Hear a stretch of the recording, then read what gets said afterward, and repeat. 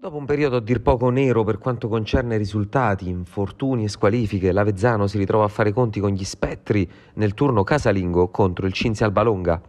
La squadra di Scorsini deve infatti provare a fare il miracolo senza Dos Santos, Zanon squalificato e Bittaglie, assenze pesantissime, mentre il trend del momento è negativo per le sconfitte consecutive. I marsicani cercano però di rialzare la testa e prima della gara salutano con tanto amore Fernando Colizza, scomparso proprio ieri, vera e propria bandiera della società. Quanto al match, gli ospiti si fanno vedere subito con una conclusione deviata da Coco, quindi l'Avezzano sfiora il gol del vantaggio grazie ad una bella azione nata sull'out mancino a firma di Pellecchia. Sissé colpisce però male di testa e l'estremo laziale para. Il pericolo scampato sveglia il Cinzia Albalonga che si guadagna un calcio di rigore intorno alla mezz'ora grazie ad una percussione nata sulla fascia sinistra. L'atterramento in aria manda sul dischetto Cappai che spiazza Coco con una bella esecuzione e regala lo 0-1 agli ospiti.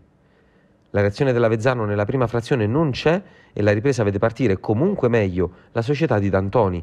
Buono riesce a concludere di controbalzo verso la porta di Coco e colpisce una traversa clamorosa al quinto minuto.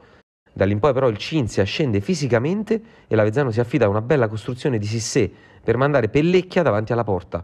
La sua conclusione di mancino è intercettata male dall'estremo Santilli e termina in rete per l'1-1.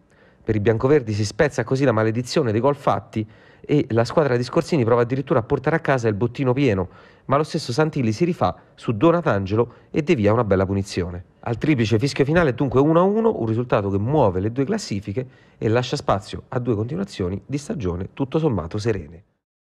Si è interrotta la catena negativa finalmente, una buona prestazione soprattutto nel secondo tempo.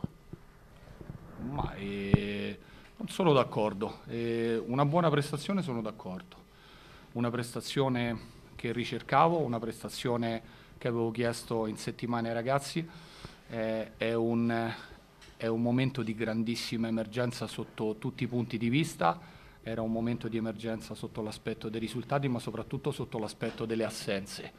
Non si può giocare facilmente e soprattutto senza calciatori come Zanon, Dos Santos e Bittaglie per troppo tempo. E è chiaro che esistono nel calcio momenti difficili, noi oggi volevamo invertire la rotta in super emergenza, ho eh, costruito un sistema di gioco diverso, ho costruito un sistema di gioco ideale per giocatori eh, che avevamo disponibili a disposizione e per questo eh, faccio i complimenti ai ragazzi perché indipendentemente dal risultato eh, il primo tempo avevo chiesto assoluta attenzione nel non far giocare una squadra fortissima come l'Albalonga e così è stato perché tolto la grande ingenuità che purtroppo eh, spesso ci capita, però l'Albalonga non aveva fatto un tiro in porta. Il secondo tempo è chiaro che sotto, eh, per quell'episodio del calcio di rigore abbiamo deciso di alzare ancora di più i nostri esterni è chiaro che siamo diventati molto più incisivi, ma mi era piaciuto l'atteggiamento del primo e meritavamo assolutissimamente un risultato positivo e questo risultato deve essere un punto di partenza di un 2023 all'insegna dell'emergenza, all'insegna della difficoltà, ma è figlia del calcio e quindi questo ci deve adesso rasserenare un attimino, soprattutto nel recuperare giocatori importanti. Domenica rientrerà Zanon dopo tre giornate di squalifica, speriamo di recuperare Bomber Dos Santos. Eh, è chiaro che con un'autostima, con un risultato e con una prestazione positiva contro una grande squadra può solo aiutarci a lavorare meglio. Insomma, il peggio è passato, dai. Eh, tutte le squadre eh, hanno momenti di grande difficoltà. Eh, l'allenatore eh, nel momento di grande difficoltà deve essere bravo a provocare, come ho provocato io eh, alcune cose, stimolare, aiutare coccolare. Questi sono, questi sono ingredienti che porto nel mio spogliatoio.